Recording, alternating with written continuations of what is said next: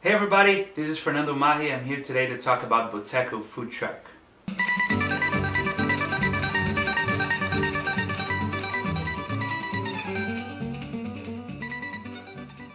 Well, it all began in Belo Horizonte, Brazil. My mom used to sell Brazilian food on the streets of my hometown.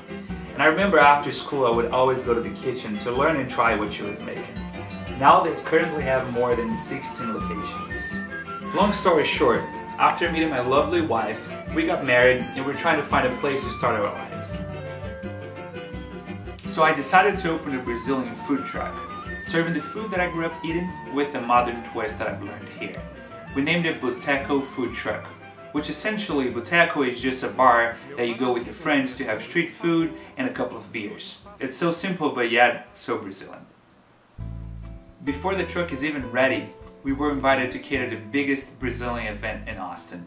And the results, I could not wish for anything better. People loved the food, and we had two articles written up about our truck. One in the US and the other one was the biggest newspaper in my hometown. They were proud to announce the success. I remember driving down to Austin for the first time and feeling like, whoa, the people are so nice, the weather is great, the food scene is amazing, and I was truly impressed with the amount of people who love Brazilian culture.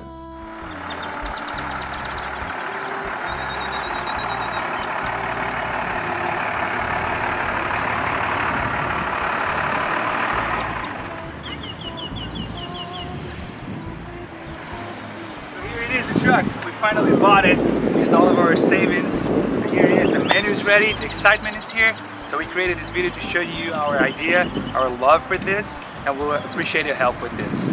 Muito obrigado, aka thank you.